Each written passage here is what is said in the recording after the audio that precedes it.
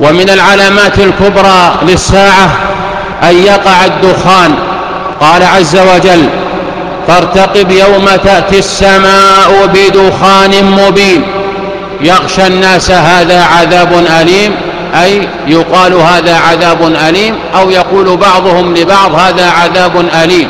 وهذه الآية ذكر فيها الدخان. وهذا الدخان يرى ابن مسعود رضي الله عنه أنه قد وقع وانتهى وهو ما وقع بكفار قريش لما أصابهم الجوع. في الصحيحين قال رجل متحدثا عن الدخان قال إن هناك دخانا يكون آخر الزمان يأخذ بأسماع المنافقين وبأبصارهم. فقام عبد الله بن مسعود رضي الله عنه قام غضبا فقال من علم فليقل به ومن لم يعلم فليقل الله أعلم.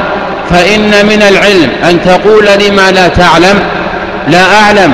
وإن الرسول عليه الصلاة والسلام قال الله عز وجل له قل ما أسألكم عليه من أجر وما أنا من المتكلفين.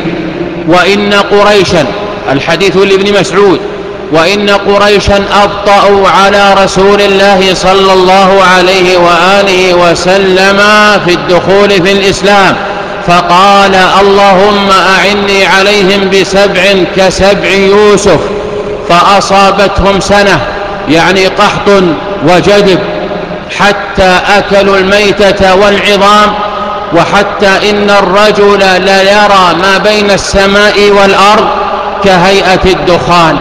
ورجح هذا القول الطبري رحمه الله. بينما ابن عباس رضي الله عنهما يرى أن الدخان المذكور في الآية هو الدخان الذي يكون قبل قيام الساعة. قال ابن كثير رحمه الله والسند إليه صحيح ورجحه ابن كثير وقال هو ظاهر القرآن لأن الدخان لو كان خيالا لما غشاهم. هذا هو رأي ابن عباس رضي الله عنهما. وقد ذهب بعض العلماء وهذا هو القول الفصل ذهب بعض العلماء إلى أن هناك دخانين أحدهما وقع وهو ما أصاب قريشا والآخر لم يقع وسيقع في آخر الزمان. ويدل له حديث أبي هريرة رضي الله عنه عند مسلم قوله عليه الصلاة والسلام بادروا بالأعمال ستة ذكر منها الدخان.